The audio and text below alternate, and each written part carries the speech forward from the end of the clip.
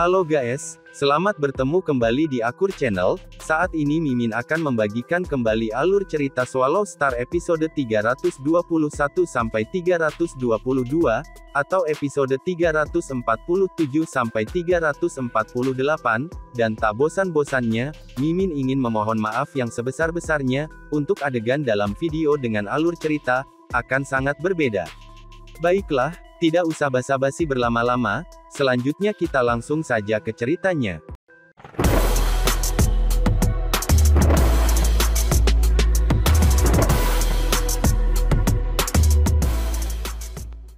Di episode sebelumnya, diceritakan Luo Feng yang berhasil mengalahkan Bei Chuang dalam pertempuran sebelumnya, dan kemudian dia melanjutkan ke pembelajaran tablet sucinya, dan kemudian seketika itu juga dunia internalnya telah menerobos ke tingkat penguasa sektor. Dan saat ini di dunia internal, benua logam yang awalnya memiliki luas 900.000 km mulai dengan gila menelan kabut emas tak berujung yang mengelilingi tempat itu. Itu juga menelan kabut di atasnya, kabut yang melanda seluruh dunia internal. Evolusi berbeda dari sebelumnya, benua logam yang luas itu tidak berkembang setelah menelan kabut emas, alih-alih malah menyusut. Semakin banyak menelan kabut emas, semakin banyak benua itu menyusut, namun seluruh dunia tumbuh semakin besar. Pada saat ini, diameter dunia internal lebih dari 10 kali lebih besar dari sebelumnya, dan benua yang memiliki luas 900.000 km terus menyusut, akhirnya menjadi jurang yang dalam yang dikelilingi oleh pegunungan emas. Bentuk dua kolam dunia. Kolam dunia ganda berhenti di ruang di atas benua, saat ukiran rumit memenuhi seluruh jurang yang ada di dalam kolam dunia ganda. Ini jauh lebih kompleks daripada dewa binatang yang melolong, dengan ukiran dari energi sungai darah. Di dalam pegunungan berkumpul titik-titik cahaya emas yang tak terhitung jumlahnya. Titik-titik ini adalah esensi dari kabut emas yang tak terhitung jumlahnya, yang diserap sebelumnya dari benua logam 900.000 km tadi. Pada saat ini, kaburnya cahaya emas berputar seperti nebula. Batu dunia tanduk emas, kumpulkan. Kesadaran Luo Feng sangat kuat, mengendalikan seluruh proses ini secara langsung. Cahaya emas nebula langsung berkumpul menjadi satu tubuh, dan menjadi menara emas seperti batu berbentuk emas, yang hanya seukuran jari. Batu ini melayang di dalam kolam dunia ganda. Namun, itu menyebabkan seluruh ruang di sekitarnya beriak, akhirnya mengguncang seluruh dunia internal. Batu dunia tanduk emas. Seekor binatang bertanduk emas, hanya bisa menghasilkan satu batu dunia tanduk emas ini, sepanjang hidupnya. Ini adalah batu yang terbentuk dari esensi dunia internal, mengandung emas dan ruang, harta sejati, seru Luo Feng. Batu dunia tanduk emas adalah, harta paling penting dari binatang bertanduk emas.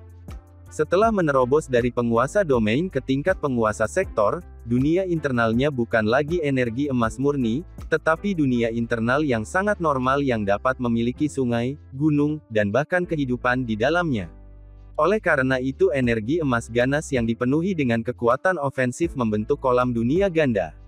Dan energi dari kolam dunia ganda itu ada di dalam batu dunia tanduk emas itu. Saat dunia internal berubah, inti tubuh bumi Luo Feng mulai mengalami perubahan juga. Jiwa dan kristal energi genetiknya mulai melebur menjadi cairan di bawah energi tanpa bentuk.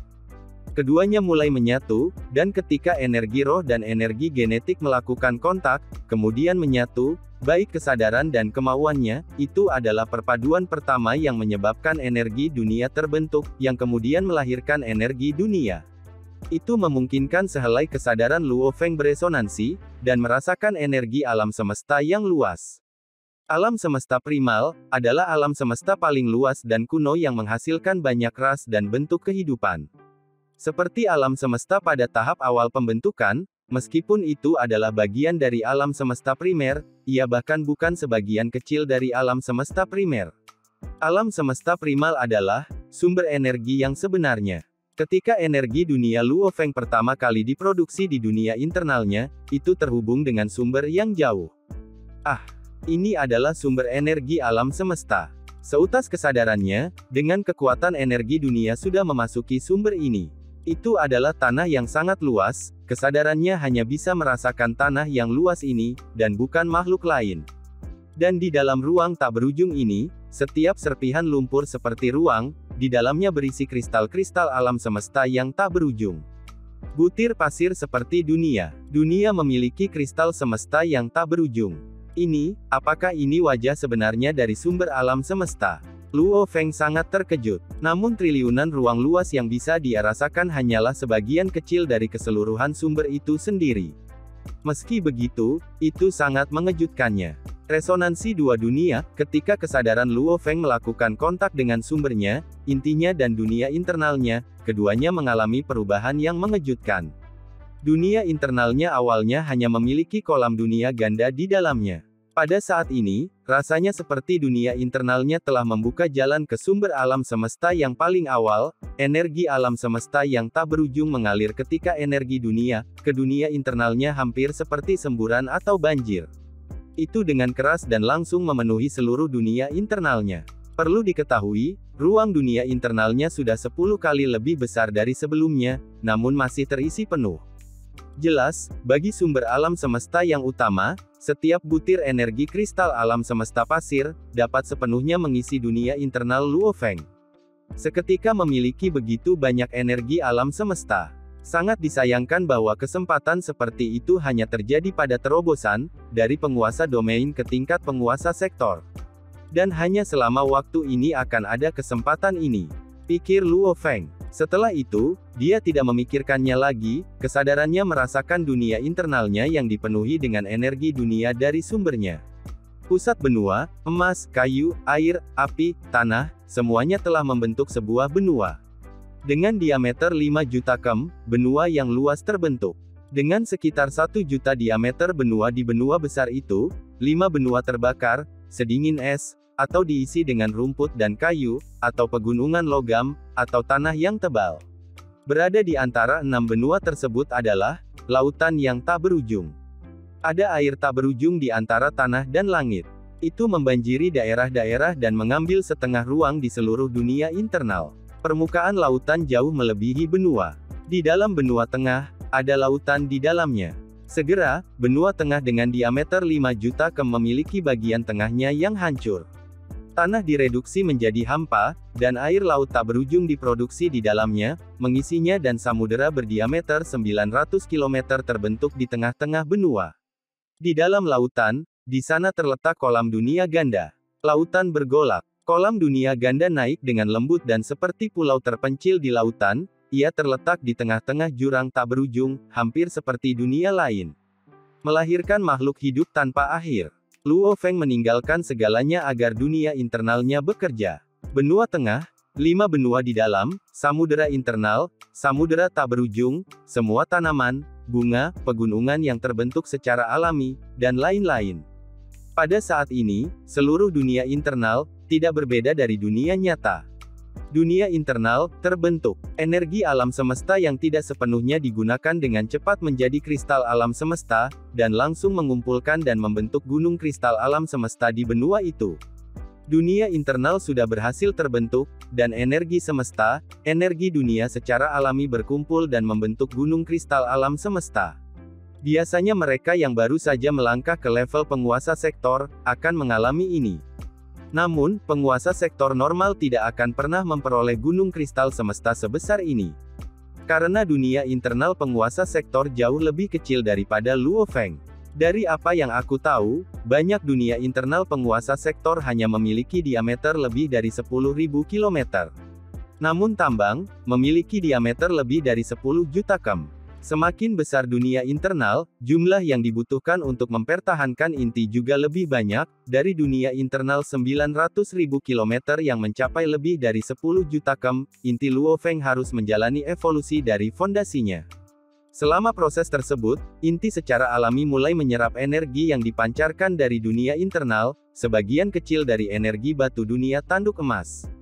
Seketika bergemuruh di dalam inti, roh dan energi genetiknya benar-benar menyatu, dan menurut evolusi alam semesta, ia membentuk asal mutiara. Mutiara sedikit berputar dan melepaskan benang tanpa akhir yang terhubung ke inti utama. Inti utama dengan demikian mulai berubah. Dari penjelajah bintang ke tingkat penguasa domain, inti ini selalu menjadi kristal setengah transparan, dengan ukiran emas yang kompleks, dan bersinar dengan cahaya keemasan, juga sangat misterius. Namun, setelah melangkah ke tingkat penguasa sektor, inti menyerap benang energi dunia internal, sumber energi, dan energi alam semesta, membentuk inti yang tampak normal. Sederhana, dengan sedikit cahaya, bahkan ukiran emas itu benar-benar tersembunyi. Ya Tuhan, Luo Feng terkejut. Inti aku sekarang harus menopang dunia internal besar berdiameter 10 juta ini. Itu sudah menjadi inti dari banyak penguasa sektor, dan bahkan lebih mengerikan dari itu. Ketika aku mencapai puncak penguasa sektor, inti ini, level apa yang akan ia capai? Tidak heran binatang bertanduk emas memiliki tiga kemampuan alami, dengan ingatan yang diwarisi, dan umur yang 10 kali lipat dari manusia. Namun sangat sedikit yang benar-benar menerobos menuju tingkat abadi. Merasakan kekuatan inti ini, Luo Feng mengerti mengapa menerobos ke kematian sangat sulit. Bahkan sekarang, jika Luo Feng melepaskan pertahanannya, dan membiarkan orang lain datang untuk menyerang intinya, bahkan penguasa sektor tingkat puncak, tidak akan dapat memecahkannya. Tentu saja Luo Feng tidak akan memberi orang lain kesempatan untuk melakukannya juga. Melangkah ke tingkat penguasa sektor, dunia internal aku sekarang adalah dunia yang absolut. Aku tidak hanya harus menelan logam. Penguasa sektor normal akan menggunakan kristal semesta untuk berevolusi, dan mengubah dunia mereka, dan ketika dunia internal aku berkembang di masa lalu, itu mengandalkan kristal alam semesta yang tak terhitung jumlahnya untuk terbentuk. Aku hanya punya dua jalur.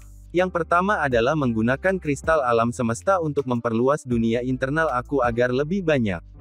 Dengan begitu, ketika aku mencapai puncak penguasa sektor, diameter dunia internal aku akan lebih dari 30 juta kem. Yang kedua adalah terus menggunakan pengelompokan logam berharga dari menelan, yang cocok untuk binatang bertanduk emas. Setelah ditelan ke dalam kolam dunia ganda, energi emas yang paling murni dan berharga, akan memasuki batu dunia tanduk emas, energi lainnya akan segera mendorong dunia internal untuk berubah. Setelah batu dunia binatang bertanduk emas berevolusi, energi yang luar biasa itu akan memengaruhi inti dan membuatnya lebih kuat, dan akan mampu menahan dunia internal yang lebih besar. Dengan begitu, di puncak penguasa sektor, diameter dunia internal aku akan mencapai lebih dari 90 juta kem. Luo Feng sangat paham. Jalur satu jauh lebih mudah, banyak binatang bertanduk emas memilih jalur ini. Yang kedua jauh lebih sulit. Karena belenggu akan lebih kuat. Hal yang baik adalah bahwa semakin besar dunia internal, semakin kuat dunia itu, dan negara dewanya pada akhirnya akan semakin kuat juga. Juga, setelah secara konstan menyerap energi indah, dari batu dunia tanduk emas, batu itu akan jauh lebih kuat juga. Ada dua jalan. Satu mudah, sementara yang lain jauh lebih sulit. Yang mana yang harus dia pilih? Di dalam menara, Luo Feng yang matanya tertutup ketika mempelajari tablet suci, kemudian mengungkapkan senyum. Hati aku seperti cermin, dan aku melihat semua ilusi. Hati aku seperti pisau, mengiris semua rintangan. Luo Feng tidak ragu-ragu, karena ia dengan tenang membuat keputusan. Jika aku bahkan tidak punya keberanian untuk menerobos makhluk bertanduk emas tingkat puncak, bahkan tidak perlu menyebutkan menjadi makhluk absolut dari alam semesta, untuk menjadi eselon atas kemanusiaan sejati. Aku yakin aku bisa melakukannya. Pastinya, Luo Feng terdiam. Sebagai orang yang menerima bimbingan tentang pelatihan kondisi mental, dari Dewa Guntur dan Hong, ia sangat menekankan pada hati. Jika seseorang bahkan tidak punya nyali untuk menantang kesulitan semacam ini, ia akan selamanya bukan siapa-siapa. Dan jika seseorang memiliki nyali, dan keyakinan bahkan terhadap rintangan yang paling sulit, maka ia akan terus-menerus mendorong batasnya, dan bekerja menuju tujuannya. Bahkan jika dia gagal pada akhirnya, pencapaian itu akan tetap sangat tinggi. Oleh karena itu, Luo Feng secara alami memilih jalur kedua, memperkuat dunia internal dengan sejumlah besar logam. Sebenarnya, dia telah lama membeli kelompok logam yang diperlukan, untuk tingkat penguasa sektor, sudah jelas, di lubuk hatinya, dia telah lama membuat keputusan yang dia butuhkan. Saat itu, aku hanya seorang pejuang normal di bumi, apakah ada yang membayangkan aku akan menjadi pemimpin?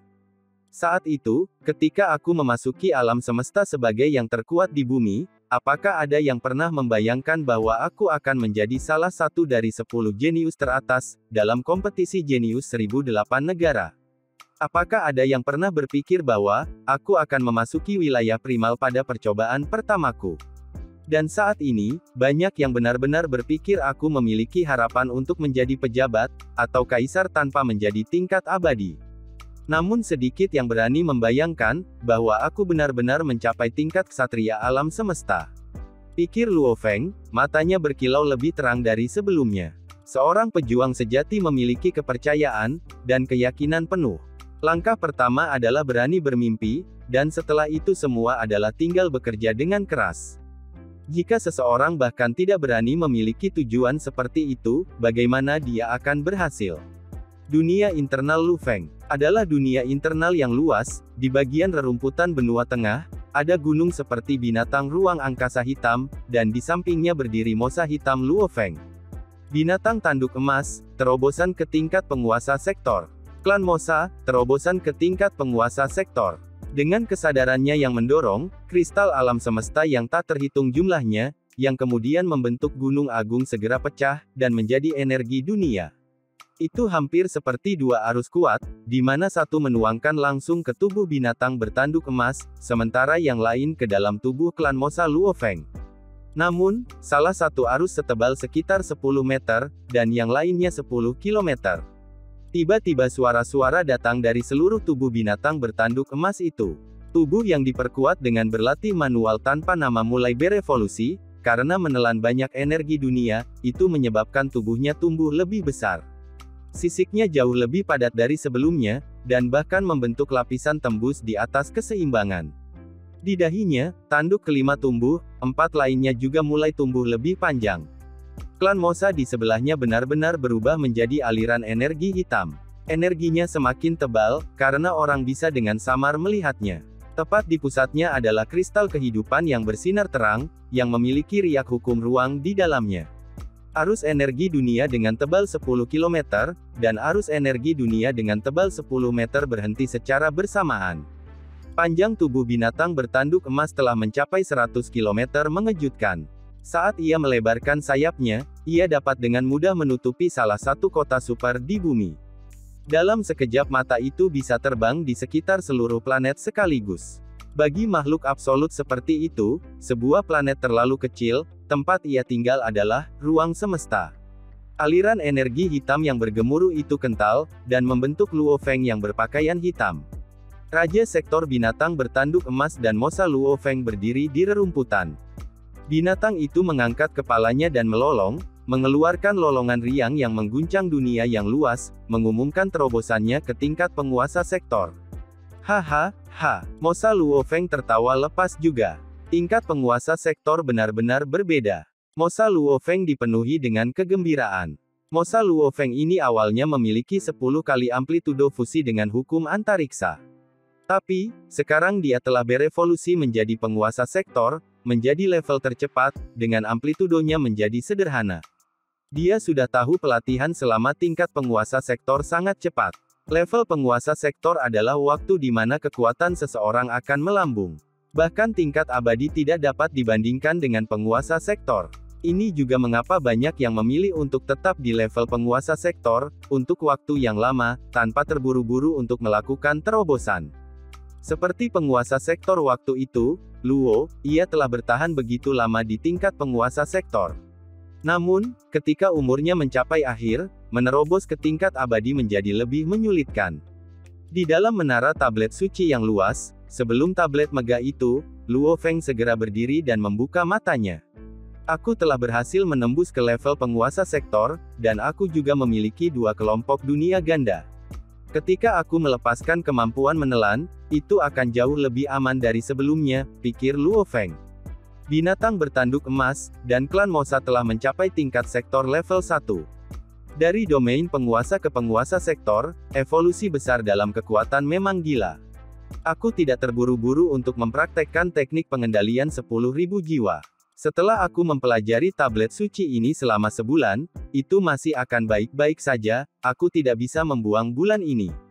Ini mungkin tampak lambat, tetapi sebenarnya, dunia internal menerobos bersama dengan binatang bertanduk emas dan terobosan klan Mosa bahkan tidak memakan waktu setengah hari.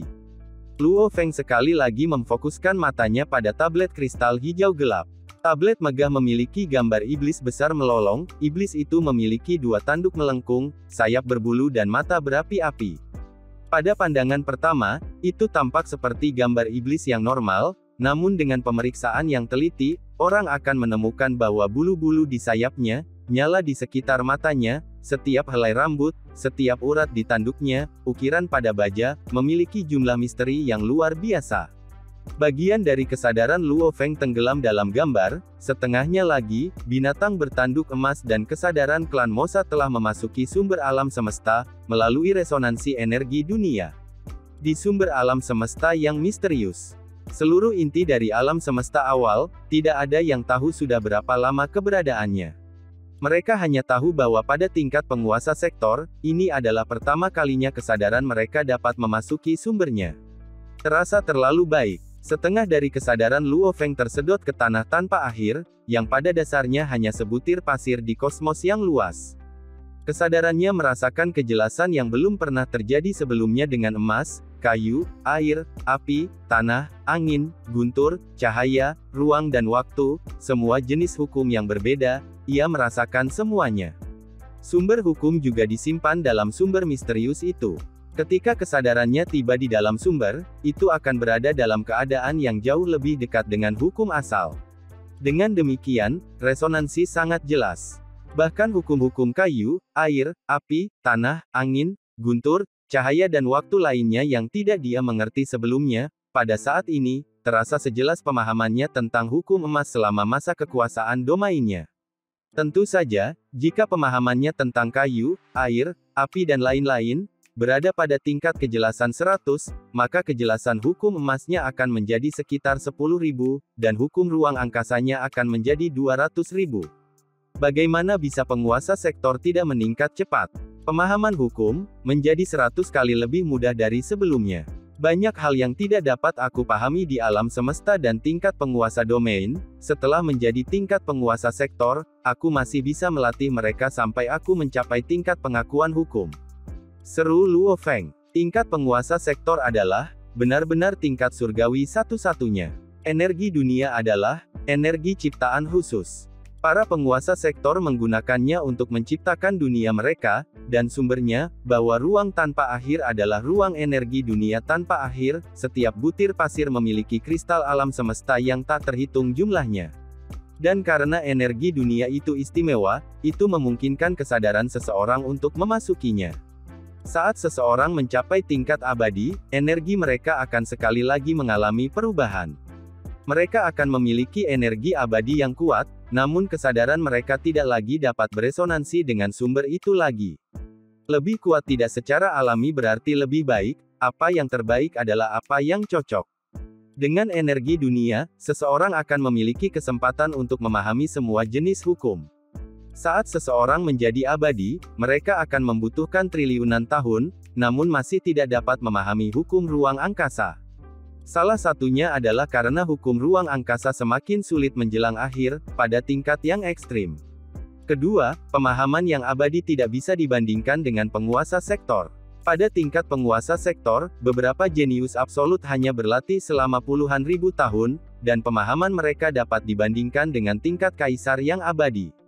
Namun, untuk kematian normal yang terus-menerus menerobos, bahkan 100 juta tahun tidak akan cukup baginya untuk mencapai tingkat kaisar. Ini keuntungan. Ini adalah keuntungan dari level penguasa sektor. Banyak orang dengan ambisi menolak terobosan untuk abadi karena alasan ini.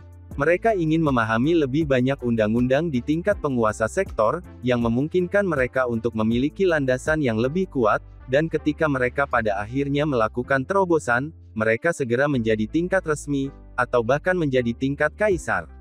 Seperti jenius mutlak kedi, yang mampu mengalahkan tingkat abadi resmi di tingkat penguasa sektor.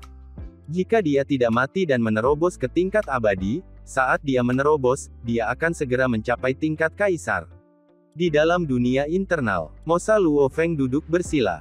Ukiran ruang yang kompleks di dalam kristal kehidupannya beriak terus-menerus, menyebabkan kesadaran Mosa Luo Feng beresonansi dengan riak hukum ruang angkasa, ketika amplitudonya naik puluhan kali.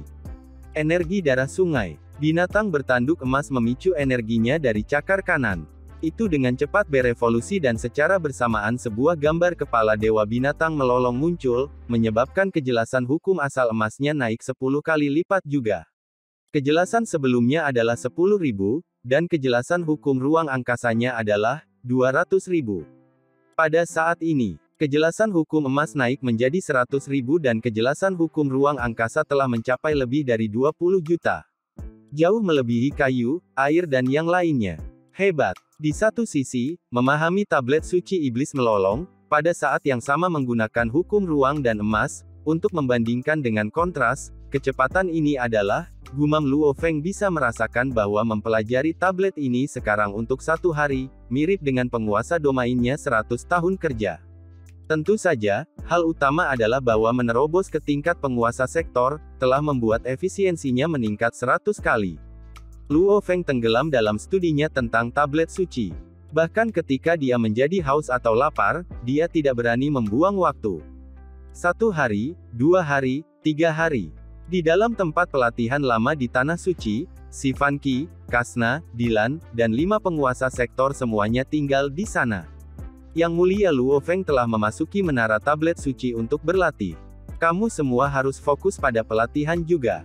Hanya mereka yang tahu bahwa mereka lebih kuat dari Bei Chuang, yang harus kembali ke sini dan mencarinya. Di pintu masuk perempat, tetua si Fan Qi memandang dengan dingin ke arah tanduk emas yang dihimpun para pemuda di sana. Mereka yang terlalu lemah tetapi masih ingin menantangnya, bukankah itu sudah cukup memalukan? Dia melepaskan energinya yang abadi, menyebabkan kelompok pemuda bergidik ketakutan. Tingkat kaisar abadi, bahkan di suku tingkat atas yang lebih kuat, biasanya hanya ada satu atau dua dari mereka. Dia benar-benar termasuk dalam kelompok yang lebih kuat. Mengapa kamu masih berdiri di sana, tersesat? Tetua si Fan Qi meraung dengan keras. Ya, tetua. Kelompok itu membungkuk dengan hormat dengan perasaan tidak puas. Tetua memperhatikan mereka pergi, dan tidak bisa membantu sama sekali, tetapi menggelengkan kepalanya. Para pemuda ini semua terperangkap dalam kemenangan sebelumnya atas kemanusiaan, mereka semua terlalu bersemangat. Dibandingkan dengan manusia, kecerdasan kita jelas jauh lebih rendah. Bentuk kehidupan batu, dan bentuk kehidupan daging dan darah memiliki perbedaan besar, meskipun persentase pejuang kita yang kuat lebih tinggi, namun dalam hal reproduksi dan kecerdasan, kita jauh lebih lemah. Semua pemuda ini terjebak dalam emosi dan benar-benar kehilangan akal sehat. Klan tanduk emas memang seperti itu. Selama mereka bersemangat tentang sesuatu, mereka akan mempertaruhkan semuanya. Kemanusiaan berbeda. Umat manusia memiliki lebih banyak kecerdasan, bahkan tingkat siswa manusia pun sangat bijaksana. Meskipun ras tanduk emas, prajurit yang kuat memiliki kemampuan mental yang kuat, sebanding dengan komputer kuantum, dalam hal IQ, mereka jauh lebih lemah.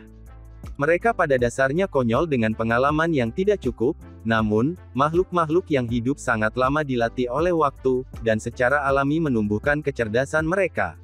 Tetua si Fan Qi, Dilan membawa lima sektor penguasa.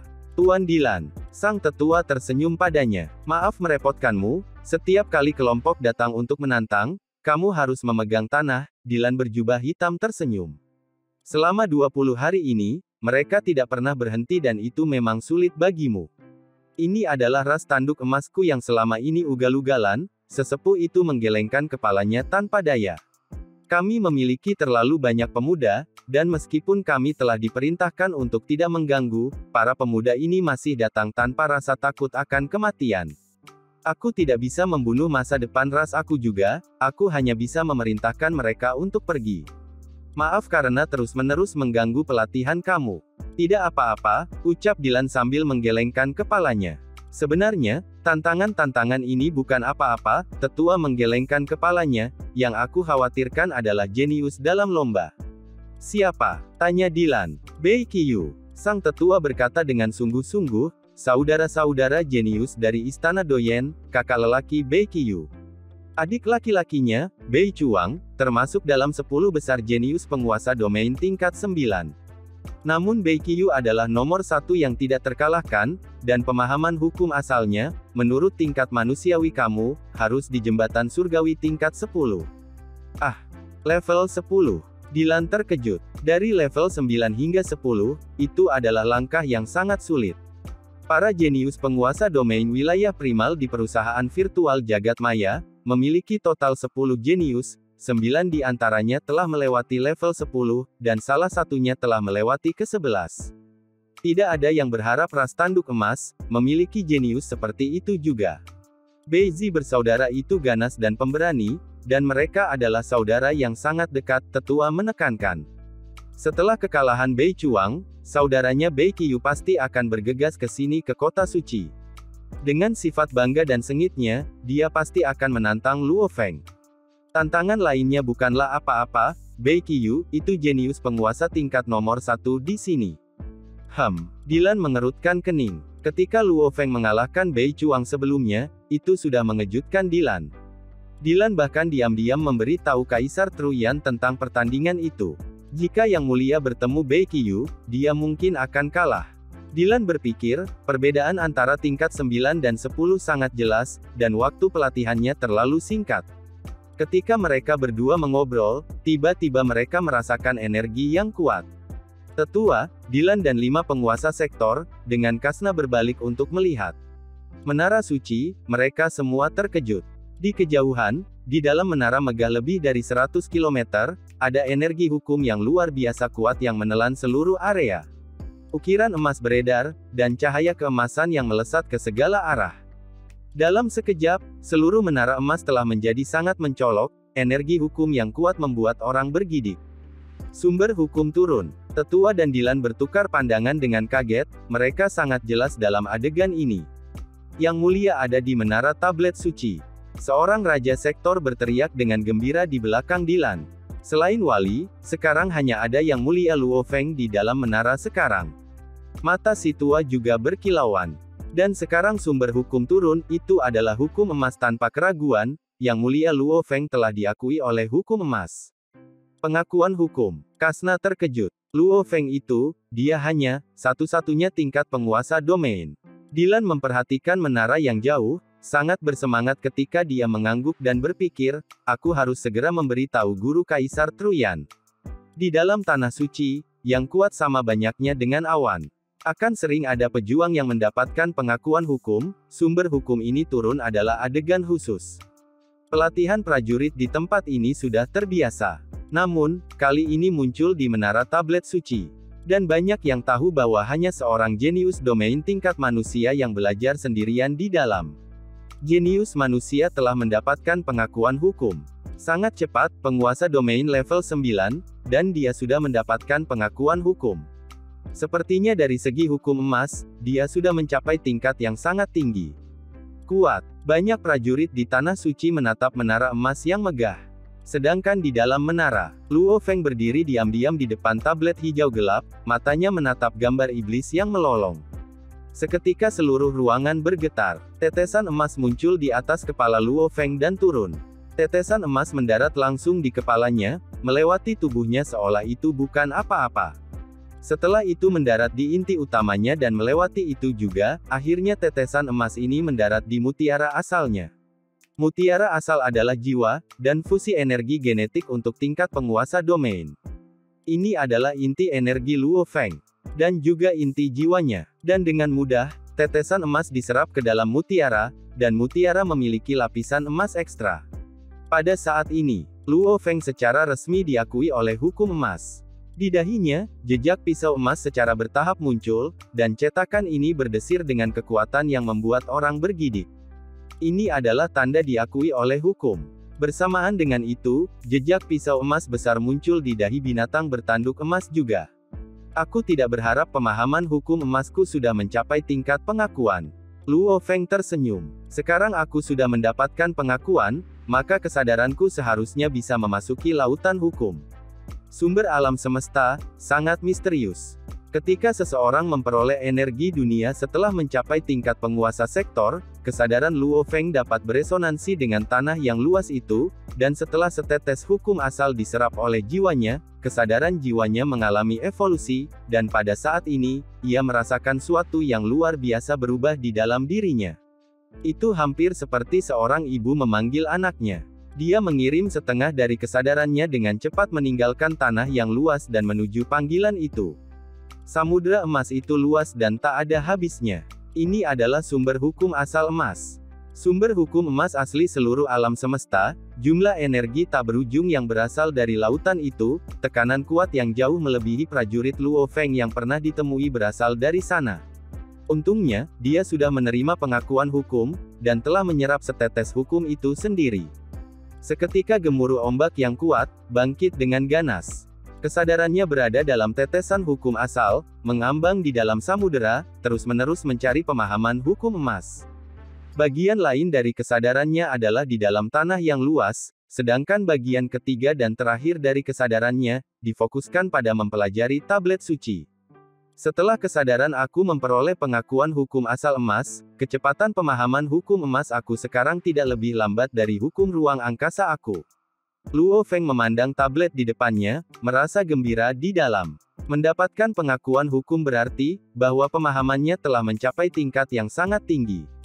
20 hari belajar. Pelatihan tingkat penguasa sektor adalah, ratusan kali lebih cepat daripada tingkat penguasa domain, ditambah aku tepat di depan tablet suci. Nilai satu hari aku sekarang adalah sekitar 100 tahun studi tingkat penguasa domain aku. 20 hari hampir 2000 tahun studi penguasa domain. Luo Feng berseru. Dan ini hanyalah perbedaan antara penguasa sektor, dan penguasa domain. Dalam perusahaan virtual jagat maya, anggota penguasa sektor wilayah primal memiliki persaingan paling ketat.